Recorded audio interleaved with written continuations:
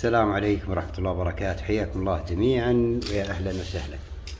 طيب اليوم إن شاء الله أنه راح نركب آه، بلاستيك للبيت المحمي. والبلاستيك هذا عدة أنواع. في منه 200 مايكرون وهو الأجود يعني السمك للبلاستيك هذا 200 مايكرون.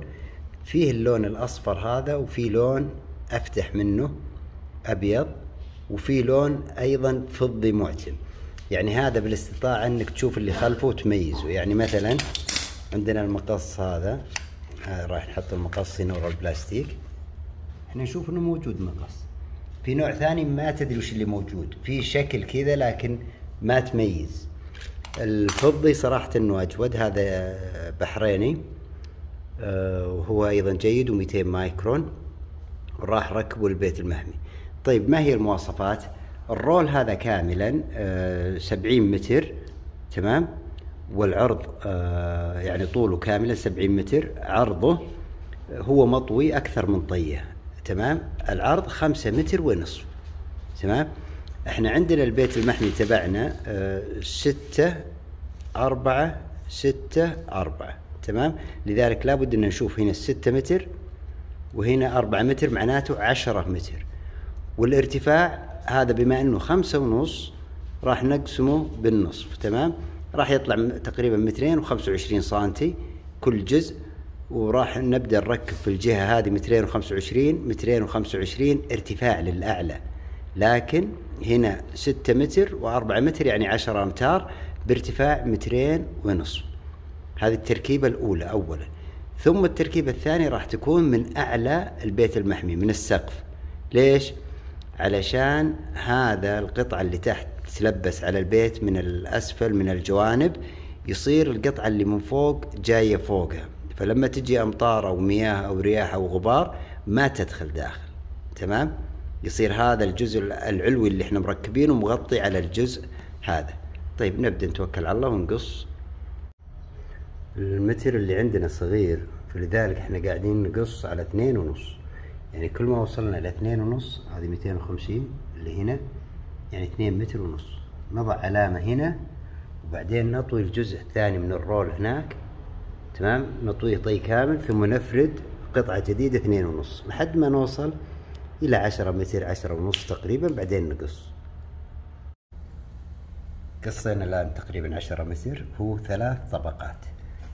هذه الطبقة الأولى وهذه الثانية وهذه الثالثة. طبعا طول الطبقة السفلية الطويلة هذه متر وخمسين وهذه متر وثلاثين تقريبا. إحنا راح ناخذ طبقة من هنا وجزء من الطبقة لأن هذه طبقتين واحدة راح تكون مع الجزء الأسفل والطبقة العلوية هذه راح تكون مع الجزء الأعلى. لذلك القص راح يكون من هنا. بطول الشريحة آه، أو البلاستيك كاملا راح يقص من هنا. راح نحصل على مترين ونص تقريبا لكل جهة. بعد ما قصينا من النص أصبح عندنا قطعتين. هذه عشرة متر ونصف تقريبا أو ربع. وأيضا هذه نفس الفكرة. بارتفاع مترين ونص تقريبا. هذه راح تكون على الجوانب عشان نقفل فيها.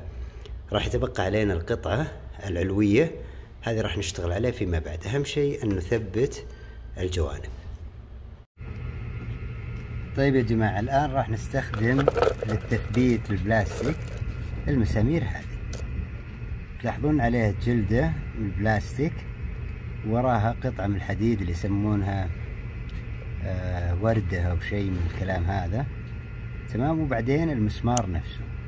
الفائدة من البلاستيك هذا إنه ما يجعل البلاستيك يتقطع أثناء ما هو ممسك عليه.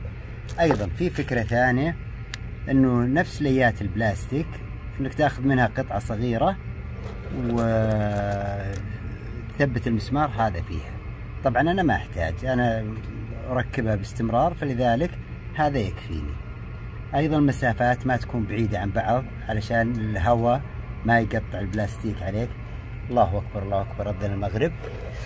طيب إحنا ركبنا القطعة الأولى هذه تشوفوا إنه ما كنا ركبنا شيء. هذا هو باللون الأصفر. تمام؟ باقي لنا بس نشده. ركبنا الواجهة هذه والواجهة اللي في الخلف هذه أيضا. تمام؟ آه راح نكمل عملنا. صراحة مزعج. آه كل شوي بالدريل وكذا. أيضا الدريل اليدوي ممتاز لمثل هذا.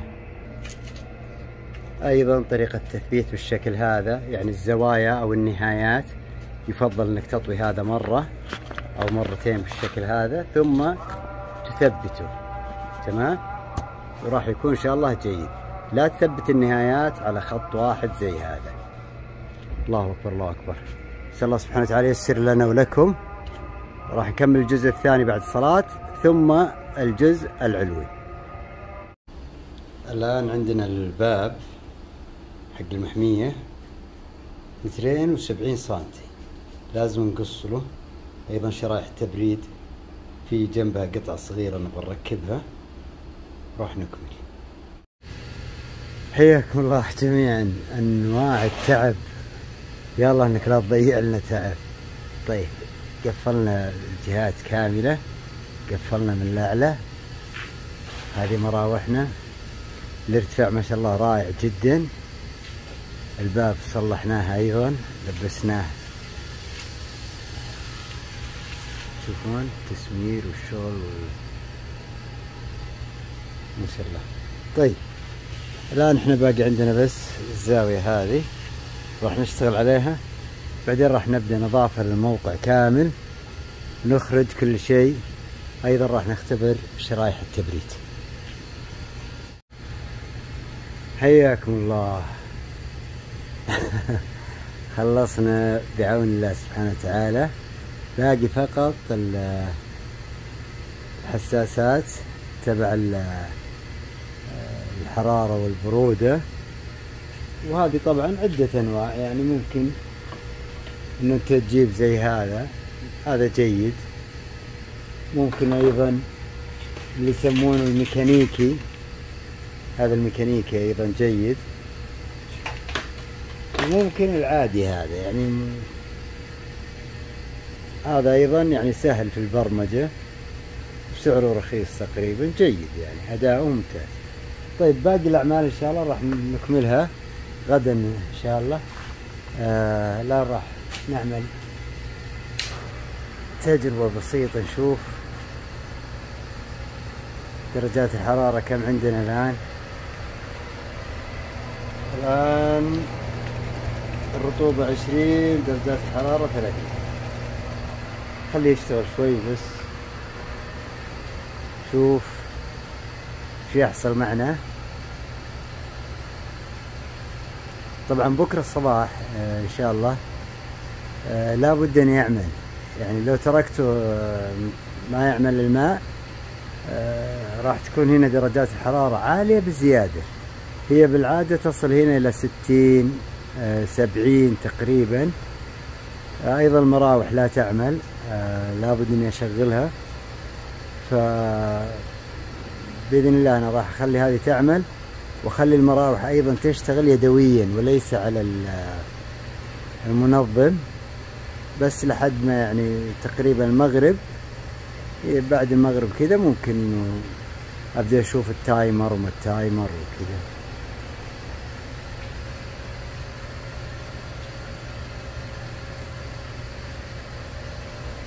طيب الوضع جيد هنا إن شاء الله. نقول تعممت. طبعا لو اشتغلت المراوح على طول درجات الحرارة راح تبدأ تنزل وهي راح تنزل الآن. الرطوبة بدأت ترتفع.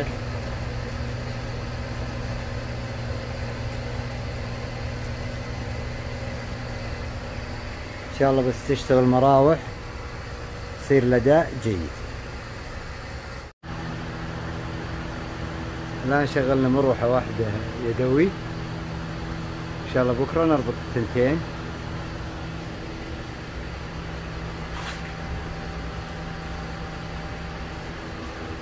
شوف الحرارة كانت ثلاثين. الآن سبعة وعشرين. إن شاء الله تنزل.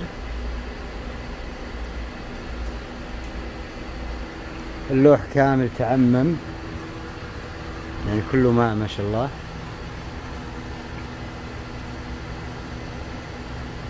بإذن الله سبحانه وتعالى بكرة نكمل ما تبقى. شكرا لكم جميعا يعطيكم العافية. السلام عليكم ورحمة الله وبركاته.